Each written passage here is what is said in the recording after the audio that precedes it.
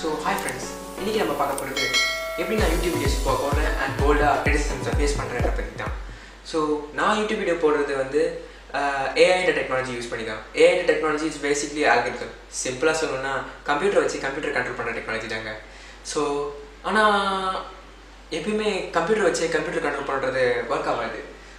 அதனால தான் எனக்கு ஹெல்ப்க்கு ஷோவாக இருக்காங்க.